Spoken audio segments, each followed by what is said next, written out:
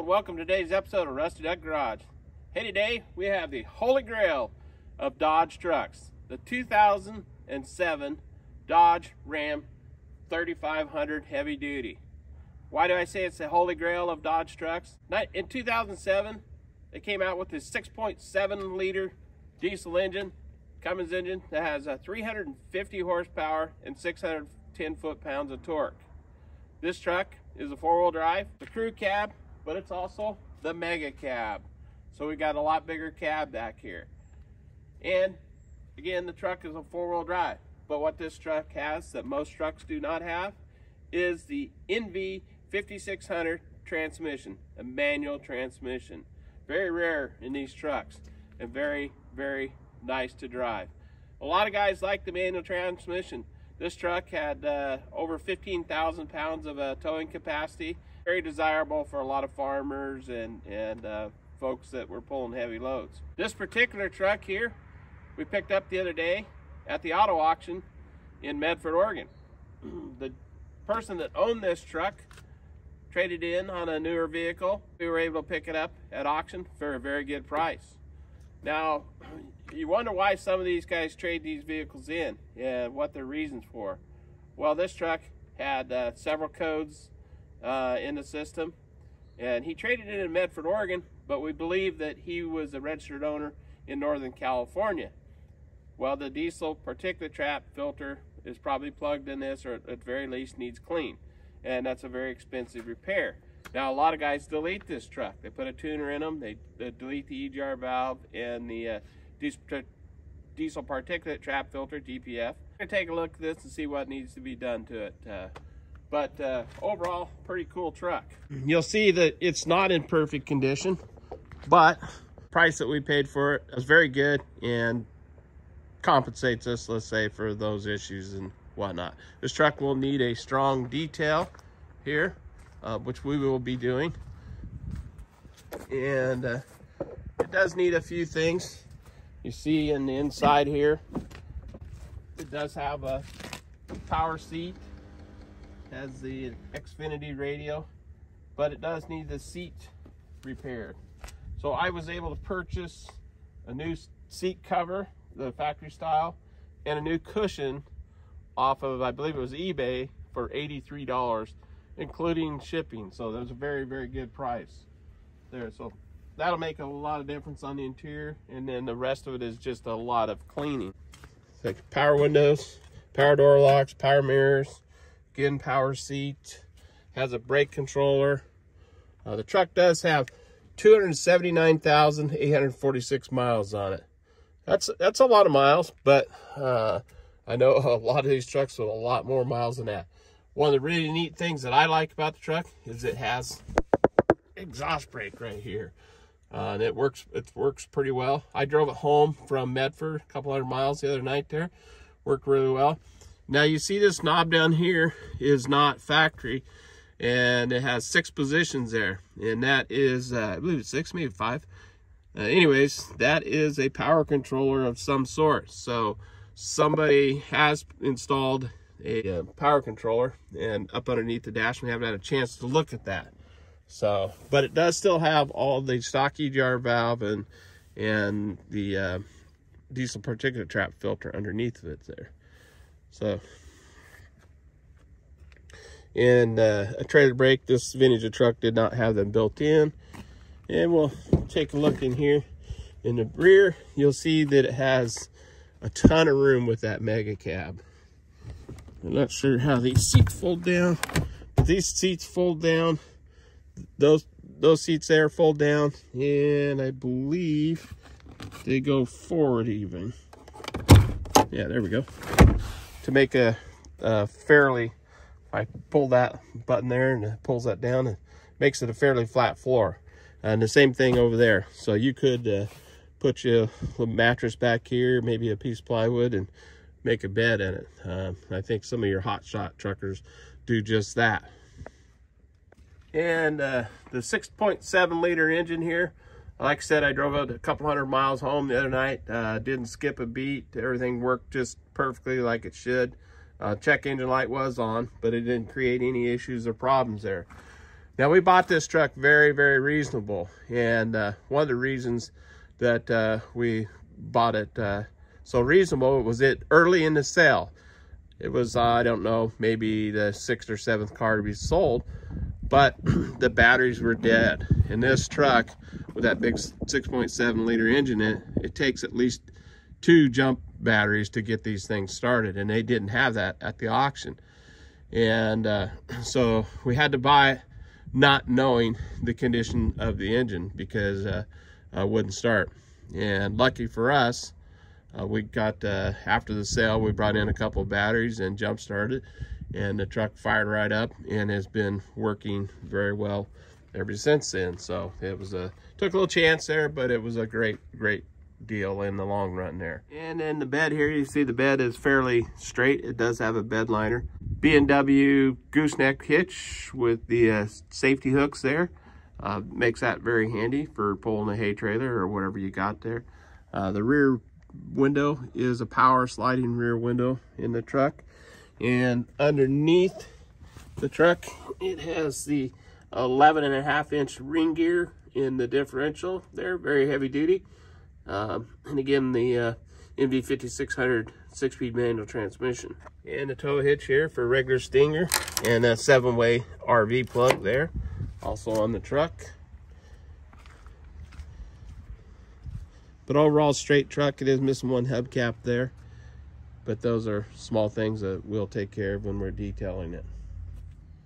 All right, we'll jump in here and start the truck, and then uh, we'll be taking it for a little test drive. Got power seat. I got to have Ruffalo legs for the manual trans. And we'll fire it up.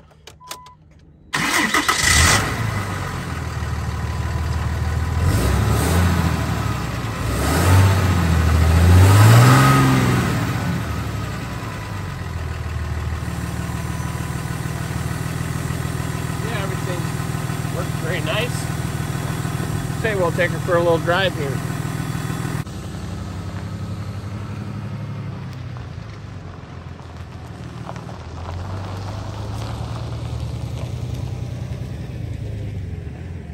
Here we go. Take a take for a little drive there, but better put that seat belt on. That noise is gonna drive us all crazy. All right.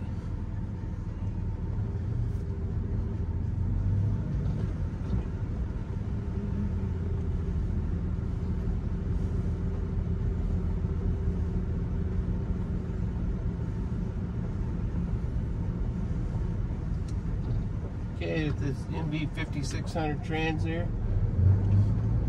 Six speed manuals.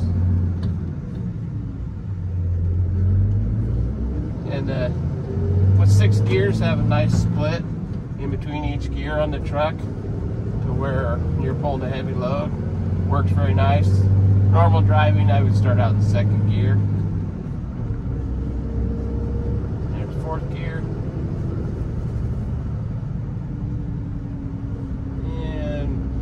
Nice little windy road here I live on. If you can uh, hear the exhaust brake when I let off up here. Takes a second kick in. Okay, turn it on. And there she's on.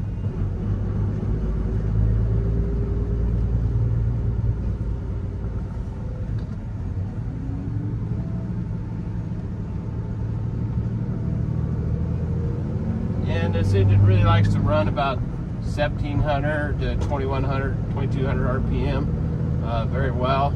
Uh, about 65 70 miles an hour. It's running right at 2200 i believe it is uh, which not bad on mileage. I'd, li I'd, like to see a little lower around 1800 or so but it's uh, it's run about 17 miles per gallon which is not bad but if it was uh, deleted and uh, without the EGR and EGR cooler and those things, I think it would do a little better. However, we're not going to do that. We'll we'll let the next owner if he decides to do that. But two-wheel drive, four-wheel drive, four-wheel drive low here, and those all work good in this truck. The only thing that I'm seeing that is not working is the uh, temperature gauge in it. And I believe it does need a thermostat. It runs kind of cool, uh, very cool. In fact, uh, the heater takes a while to warm up, and then it's uh, then it's still relatively cool there. And there is a code in the for uh, like an inefficient uh, thermostat, so that will be changed.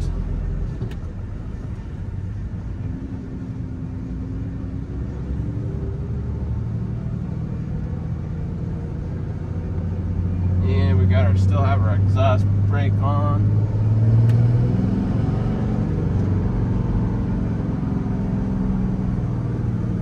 And it slows us right down.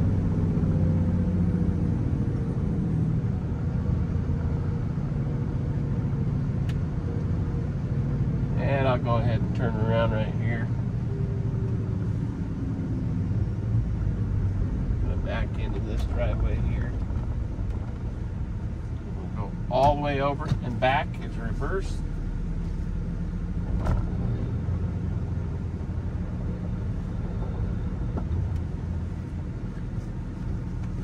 And we can start off in second gear here.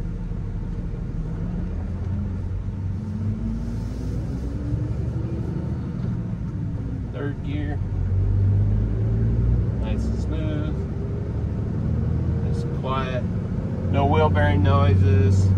No real rattles. Uh, do get a little bit of wind noise out of this window over here to the left on uh, which, which is just a somebody's probably locked the keys in at one point and uh, Slim Jim and used the balloon or whatever on the door and, and uh, bent it a little bit, I want to say. And it leaks just a little bit of air at highway speed, so that's an easy adjustment for me. And lugging her down there a little bit, they're under a thousand RPM.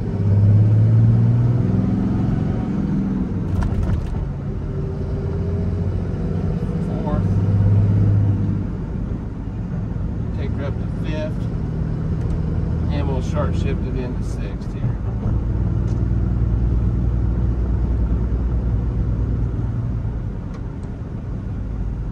Neat truck. I like it. Pretty basic, you know. Uh, the six sevens are known to be pretty reliable. I mean, they do have their their issues. I think my buddy's truck's got over 500 and, I don't know 20,000 miles or something like that on it, and uh, the truck just runs fantastic. He pulls trailer with it, whatnot.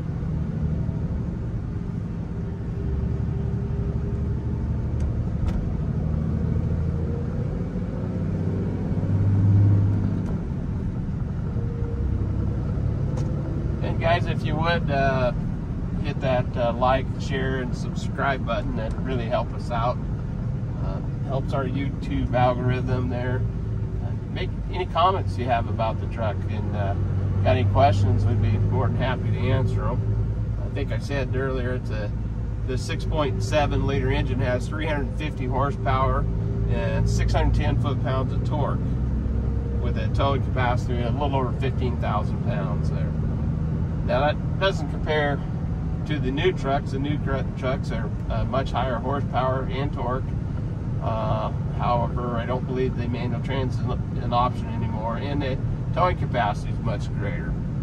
But you know, you're uh, oh man, four times as much money as this truck, so we're real happy with this one, and and for what it, the price of it, uh, make a really a fantastic truck and very comfortable to drive.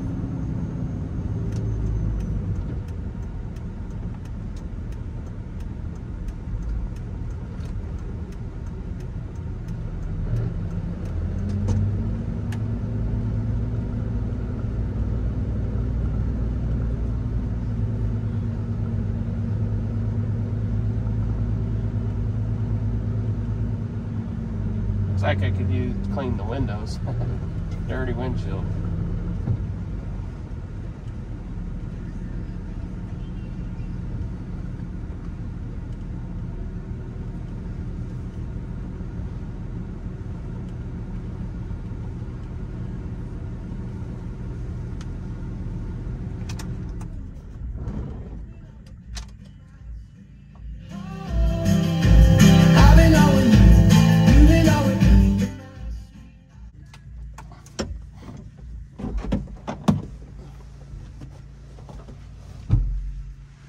Right, guys, thanks for watching today's video, and we'll catch you next time at Rusty Duck Garage.